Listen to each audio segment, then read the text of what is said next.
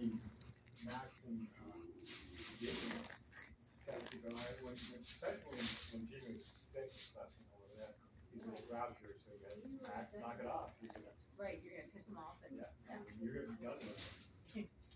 one snap and that's it. Well, that's why I, he can't go to a house with, with cats either, I wouldn't trust him, because I, he kills toys. he literally tries to kill toys. Yeah, he tore up that And little skunk or whatever. That's why I told the lady yesterday that was interested in him, she was gonna, she wanted to take him home, and I said, no, I said, you got three cats, I wouldn't trust him. And she's like, really, but he's so little, I said, uh-uh, don't, and never underestimate a terrier, any kind of a terrier, because they, that prey drive is there. Boston's a very children cat. And it's, it's, it's violent, I mean, it, it's funny to watch him because you know they're toys, but he would absolutely do that. Down mm-hmm. yeah. at the end. We're babies. Hundred percent. Well, I had two pit bulls with Bella and Max, and she actually was like they, those two were kind. Like Yeah. somebody could. Right, oh yeah, no, absolutely. He, he had her by the, I mean, he's, Exactly. she was on her back, like she went to flip around and he came right in and he had her right here and he was, and she was I trying to growl at him, she couldn't growl. And that was when I, I hollered and he responded, he let her go and that's when I picked him up and plunked him on the couch and he's like, okay, I got it. I call it going to the jugular. Oh, 100%. Actually could. I had a chihuahua go for my jugular when I was showing him to a, an adopter one day. Yours? I was walking, no, I was not. Bite your tongue, I had a chihuahua. No, but I mean, no, it, yours now? Yeah. So it took me forever to get a leash on him and get the dog out of the kennel because he wouldn't go over the little lip. So I had to pick him up, She was not happy about. So I'm carrying him like this, and all of a sudden I felt his feet like pressure on my hip, and I don't know why, but I went like this, and he was coming up, and it was right here. And Kathy from Kathy Newman at, at PACC, who's been there forever, she's like, "Oh my God, are you okay?" I'm like, "Yeah, I'm fine." Why? She's he was totally like teeth bared. The whole all I did was I felt it, so I just moved. She's he was coming up at you. She's, I never seen anything I like it. never either. And then the little bastard, not five minutes later, bit the guy that, that we went out to do the meet and greet with. Yeah, bit him, drew blood, and then they just moved on my quarantine. I was like, and they ended up actually, they, they, um, they marked him, he ended up having to go to a. Yeah. Because, and they He had couldn't all, make it, he yeah. was returned like five times. He's a biter, he's just a little jerk. Yeah, yeah. That's why I don't like Yeah. chihuahuas. And there was no warning. Like, everything was fine. If, if he didn't, if he had been in a different position, like if I had been carrying him, Oh. like, oh, That's what I'm, yeah. yeah. So from that point forward, I have always been very respectful of the cues that they are and are not giving you with. Yeah, yeah, yeah. Do you think that's neurological? at all? No, they're just psychotic. The chihuahuas are psychotic. Well, they truly are. Be. They're nuts. Yeah, yeah. Well, I used to, so when I used to train the dog walkers at PACC, I used to tell them, you know, there's certain breeds that have pretty consistent characteristics, and with chihuahuas, it's very common for them to tremble. It's not because they're cold, it's not because they're scared, it's just something they do, it's like a nervous Yeah, yeah, system yeah. thing. But I told them all, in this environment, always assume it's because they're terrified. Just don't ever disregard that trembling, because that's part of the warning before you get bit. Oh, yeah. And I had one lady who ended up getting bit, she said, Bonnie, I'm really ashamed to admit this to you, because it was after I was a volunteer coordinator, so I had to do bite report when she came in and it drew blood. And she said, she was shaking, she said, and I heard your words in my head, and I did it anyway, and she snapped and bit me. I, I, Well, yeah. that sucks, because now the dog has a bite record. You didn't listen to, you didn't hear my, you, you listened to my voice, but you, you didn't take the Consequence to that. Yeah, so the dog now has a bite. Yeah, she had to go on quarantine for a week, well, ten days. So, yeah. Apparently Bixby and Ginger have deteriorated to the point that they're not allowed to go out to the yard together anymore because he gets so amped up that they can't, they can't stay there. Weren't they good, good Well, each other? the thing is, is that they're both high energy and intense. The problem is, is that they're both high energy and intense. They're not getting breaks and coming up here and getting the separation like they were. One of the behavior team people reached out to me a week ago and was like, we don't understand what's the, why, why, why do you think they're, like, can you shed any light? I'm like, well, I can tell you why.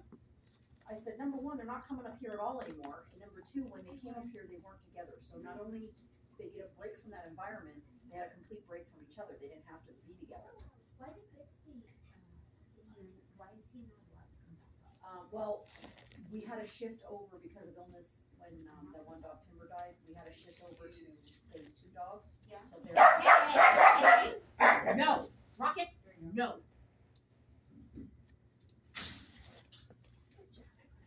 she corrects, You. but this is, this is living in a backyard with no supervision or, or training.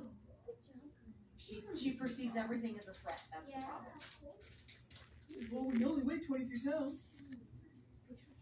It's not your fault, it? No, It's. No, it's just ridiculously oversized. Huh? It's ridiculously oversized. Like, I don't care. Oh, you're tough.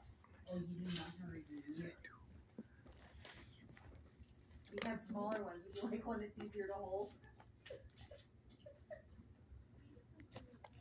They're both good. Come under here. Their personality. They were just. I let them eat. Thank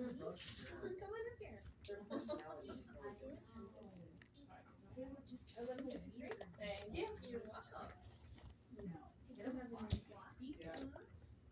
They had no idea. under, like, this is her, her instinct now is to always come up on the couch, she doesn't go under at all anymore.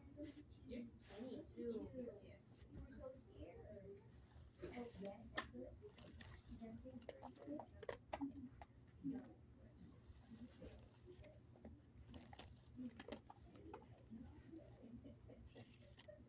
So just give me the treat, Kaylin. Know I'm a shelter dog? Yeah. Oh, look at her. Look at her trying to warm it. She's, she's a brat. She's She's she warming does in. Look. And what she'll do is when he, when he takes a break for a second, She'll she'll, take she'll it? take it and she'll get down and go put it someplace else. She was trying to bury stuff on, uh, Friday. She was up on the couch and she was, she kept, you know, those little white things. To hide her, to She hide her. she kept like digging in the, What's in the, white things? um, so there was a Those- toy those things? that, yeah, there, Yeah. no, not that. There's, there's little, there's little fluffy, I think she must have put them underneath. A little fluffy. Little fluffy white things that, they look like dumplings is what they are. Um, and Yeah, she's got them back here. Yeah, she would take them, she would take them away from him and she'd try to bury them somewhere. Why don't you leave him alone? How about that? How about that? He had it first. but. No, he had it. No, I don't care. no. I'm in charge, I'm the Come on, boss. come on over here. Why don't we do something else? Why don't we do something else? Huh? Why don't we do that? Okay. No. Alright, I'll try that. Yeah. Are you just? You caught me, boy. Oh, you're just the sweetest.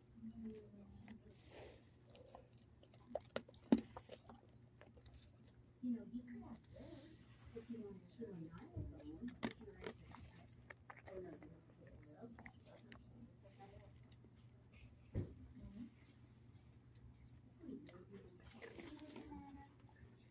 Hey you want me to take this fluffy away since she's trying to rip it? Yeah, they, that's why they can't have nice things, they ruin everything. Good catch. Here, oh, look at this. Here's some, no. Hey, look, look, look. You can have your own. Like literally everything. Oh, geez. He loves to go, he loves to go. Oh, yeah. Look at these. We need this forever now, We need to just keep John in here all day with Yeah. this. Hey! See? Yeah, no, There we go. no, leave it. Eh, eh. And he's, he's not even phased by it. Yeah, but she was gonna get him. Yeah, This is what they do. she had him under the You want, couch last you wanna, Sunday. you wanna try this? Hey, hey. No. So leave Don't bug him. Okay? Good boy. Good boy. Yeah, that's the one. Uh-uh. Good boy. What about this? Good boy. I don't want what he had. What about this? Thank you. What about that? Yeah. Now she's gonna sit on him. As soon as he laid down about that, she lay right next to Well, him. I of was the like, two, I definitely take him. I'd take her to the crap. You Hey, would? Yeah, I would. Yeah, I would. I know. You have more patience than I do. I don't know about that. I I just, I think I just like. Well, oh, with her and I, it would turn into a battle of the wills real Look, quick. yeah, I know, she's a brat. look at, this is cute though. Oh. Ask him. He's like, I don't think it's cute. What are you talking about? What? What would you like, have a kind of a jerk? What do you, what do you want?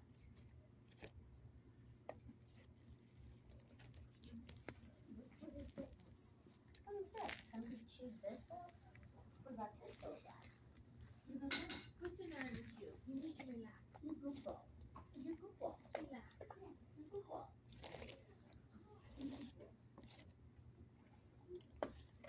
Wanna take the little food bowl? Maybe do some dishes, right? Clean this mess up. Clean that mess up. What else you wanna get into trouble with? Huh? Something else to do? You I don't know, what do you want? They're like a couple of kindergartners in, yes. high school. They are such like sibling rivalry. Well, and you figure too, that all they have is each other. Yes, You know? So good, bad, or otherwise, it is what it is. yes. I'm gonna get something, I'll get you some hemp oil and. I was gonna say,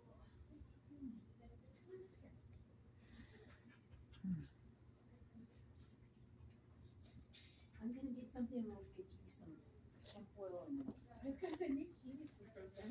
Yeah.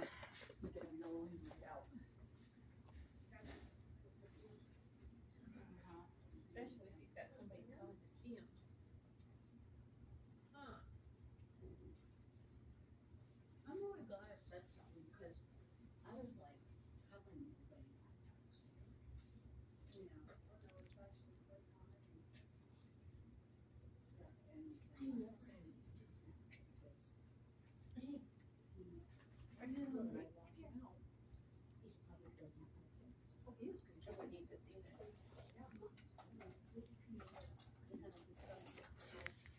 Here, turn it up a little bit for you. Stand outside and she'll run, but she doesn't do this, Oh, and right. then she'll go lay down. She's really good, quiet.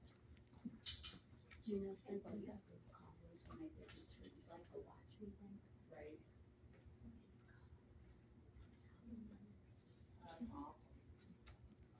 And to be honest, they, and you know like, we're happy and That's it. cause they're, they're happy. Well, and I think that's the thing, is if you can take the edge off, like peanut butter, Yeah, there we go. but when, when it can take the edge off the. Well, cause it's when, um, Time and I talked about two weeks ago, um, Tootsie, said, Oh, don't even try to do any introductions or anything with, with your dog. Um, until she's at full strength with I said, because if it starts off badly, So let, let her get to that point first and then try to, you know, But I'll tell you what, I think oh well. that's very, that's why I was, I, I Yeah. know. Oh, no, I understand that. And I don't know, but if you look at her, let me tell you something, she is a little bit- Yeah. It would have been nice thing to do for her. She would have been the best, but, you know, it would have been very, very fun. Yeah, I think she's old enough that old interested. Right. You know, he's different enough. Oh, guess. exactly. I'm. Yeah, I'm done. Yeah, exactly. Yep. Good boy. I know they're not with somebody, but I'm gonna go right. Okay.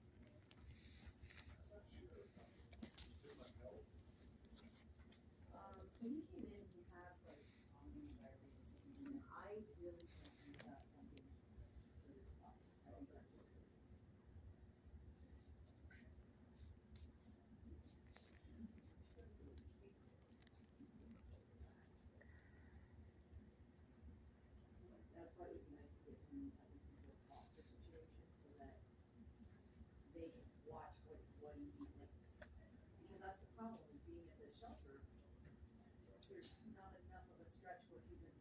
somebody, you know, with eyes on him so that they can really see. You can't really tell it, cause there's somebody in the morning that feeds, and then there's somebody else in the afternoon that comes in and cleans the kennels up, you know, if they have, whatever, so it's not consistent. So, and that's why a lot of times I end up giving them the clinic information about a dog that they have no idea about, because at least here they're there for four hours, Yeah. you know? How she has her, was leaving her out. That was kinda sweet. That was very sweet. It doesn't make sense. Nope. So that's why when Cindy said, I'm never have a pit bulls here. Well, I had a whole week's worth of non-pit bulls, cause he was the only one in Phoenix, and still no dogs left, so, hmm, there you go. Did you give him stuff? Um, yeah, I gave him some, uh, CBD oil.